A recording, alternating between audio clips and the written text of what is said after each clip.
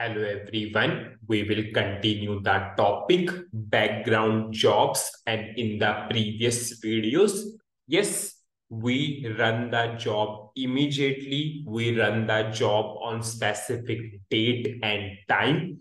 Now we will go for further investigation on the same. Now the question is in everyone's mind. Suppose I will go for the program for which program we scheduled the background job. Suppose I am running the program. I am running the program in the foreground. If I am running the program in the foreground, I have an option to give the input. Suppose I am giving the input 1, 2, 3 and I am able to see the result. Now the question is in everyone's mind. Yes, if I want to run a background job for a particular input, how I can do that? Because in background job, it will run at its own at that particular time. So how you will give the input there? You will not interact with the background job to give the input at that point of time because it will run at that time by its own. So now the question, yes, how we can run a background job with specific set of inputs. And in real projects, yes, we have so many background jobs which runs for the particular set of input only. So in that case, how, how we can do that particular thing. Now, if someone asks you how you can run a background job for a particular input only, the simple answer is we can go for a creation of variant in that case we need to create a variant. After creation of the variant, we will pass the variant in the background job. And yes, that particular background job will run for that particular set of input only. Now, we will firstly learn what is variant, how to create a variant, then how we can use in the background job and very useful thing. It will save your time a lot. Suppose I will go for the program. This is our program. I'm running the program. Suppose every time I'm giving the input to the program and I'm executing and the output is coming. Now in real projects, how we save our time. Suppose I'm giving the input 1 to 5. What I will do, I will click on to save button. But what the save button is save as variant.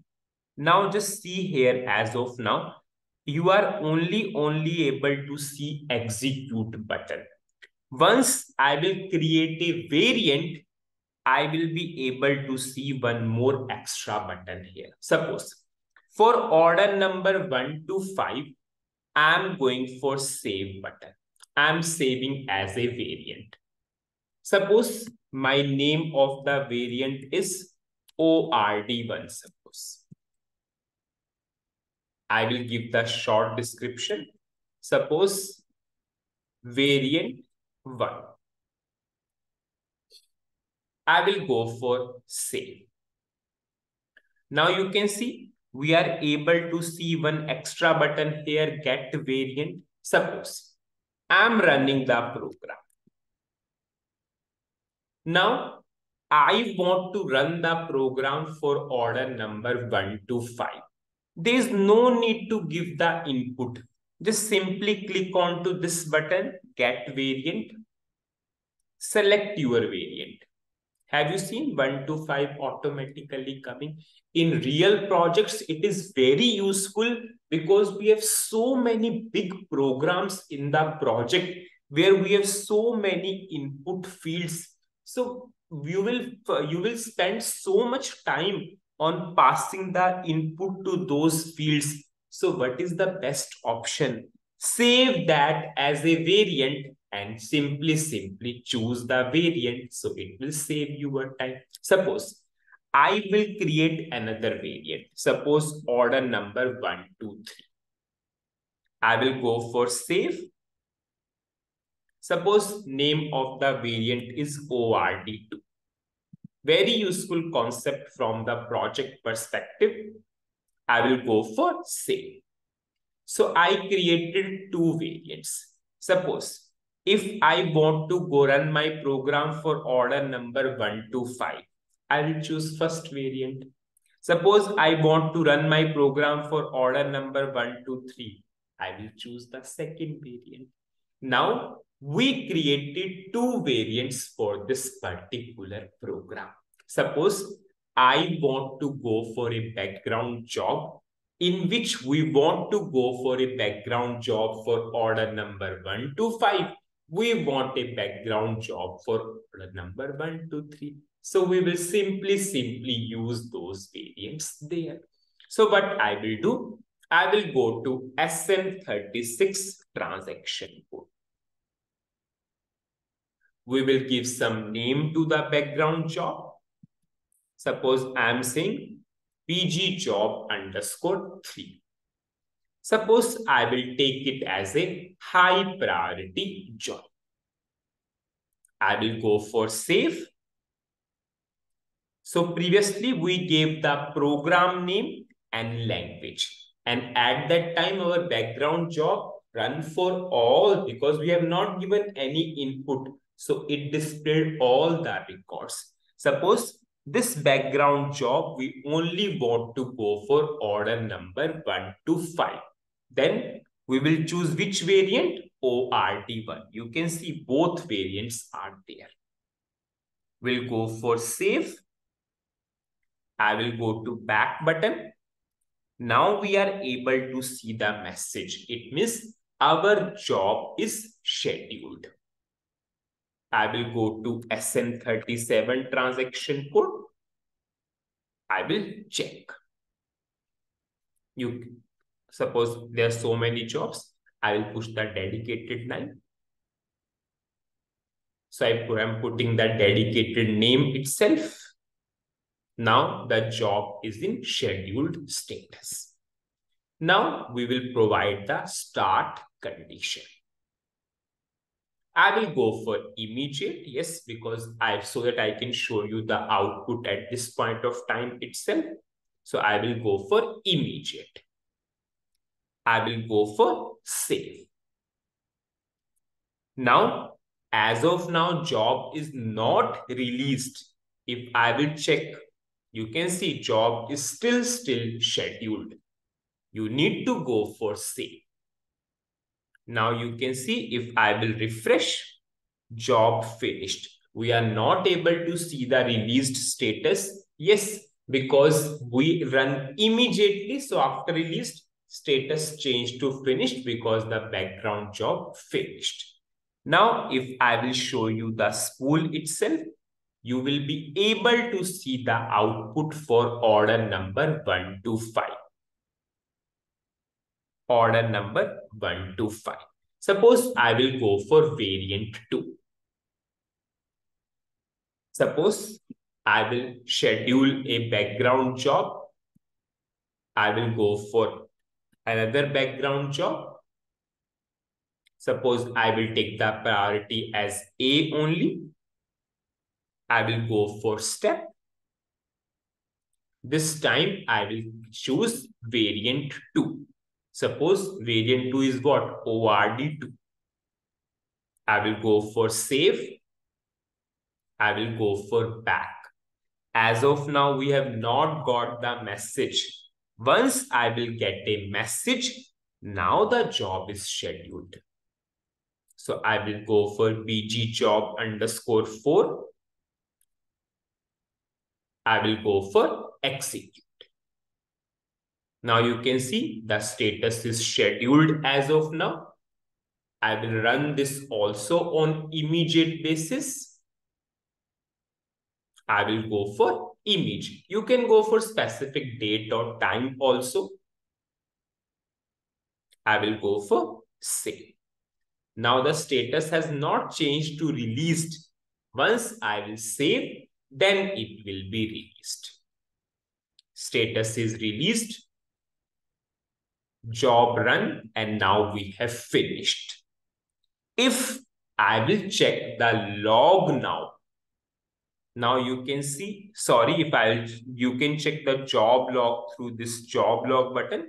If I will check the spool now, if I will go for spool, you can see we have order number one, two, three only.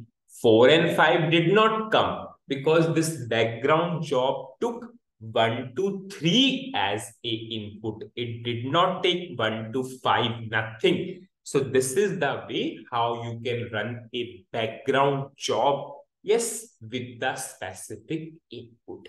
Now we will cover one more thing also into this particular video. Many people ask, yes, whatever the spool is generating, can we send a mail of the spool to the user? Yes, this is a possibility. Yes, because background job is running in the background. If we want to send the output through mail to some user, there is a facility here itself. Suppose I will go to SM36 transaction code. I will give some name to the background job. Suppose I am saying BG job underscore 5. Have you seen? We have an option here, spool list part recipient. Click here. Now, as of now, I will go for simply, simply internal user only because we do not have external email addresses. Internal user means within SAP itself. As of now, we do not have any external recipient. So I will show you within SAP itself. Suppose I will send the spool to my email address itself. Suppose I will put the recipient as my email address. I will put R Mehta. This is my SAP login ID. Copy. Now we will go for save. This is the program name. Suppose we will go for second variant. We'll go for save. I will go for back. Now the status is scheduled. If I will show you in SM37, status is scheduled. Suppose we will run on immediately start condition immediate, save. As of now, it is not released. Once I will go for save, now it is released, refresh. If I will show you again, I will go to SM37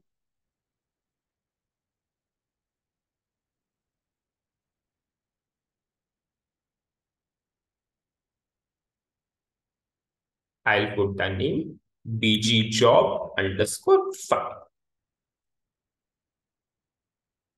Now you can see we are able to see finished. We can check the spool. One, two, three. Now I can check this in my inbox also. Now in SAP, how I can check my inbox? There is a transaction code SBWP. The full form is Business Workplace, SAP Business Workplace. So you can check your inbox through this particular transaction code, SAP Business Workplace. So I will go for this transaction code and I, the same spool will be in my inbox.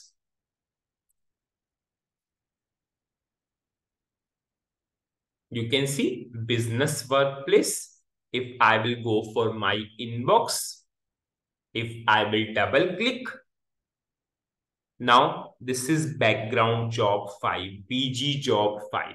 If I will double click, You can see we are able to see same to same spool. If I will click here, same to same spool in my box.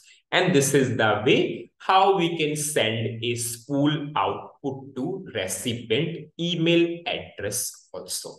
So what is the summary of the video? In this video, we cover two points. What is first point? How you can schedule a background job for a particular set of input data. In that case, you need to create variants, create the variants for your program and use in the background jobs. Second, how you can send a output of background job to recipient email address. You can click on to spool recipient. You can pass the email address. Once the background job will run, yes, the output of the background job, or you can say spool, will be sent to the recipient email address. So that's it in this particular video. Thank you.